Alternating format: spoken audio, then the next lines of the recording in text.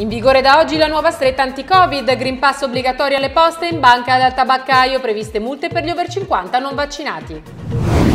A dicembre scende al 9% il tasso di disoccupazione, più marcato il calo tra i giovani, l'occupazione torna ai livelli pre-Covid e tra le donne aumenta al 50,5%, stabili gli inattivi. Carbon Sync, società internazionale per lo sviluppo di strategie di mitigazione del cambiamento climatico, aderisce ad Alice, il presidente Guido Grimaldi, un ulteriore supporto alla competitività delle nostre imprese.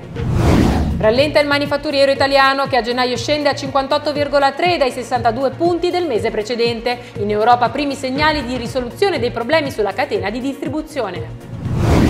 È morto all'età di 92 anni Tito Stagno, lo storico giornalista della RAI il 20 luglio 1969 commentò il viaggio più lungo, quello che portò allo sbarco sulla Luna.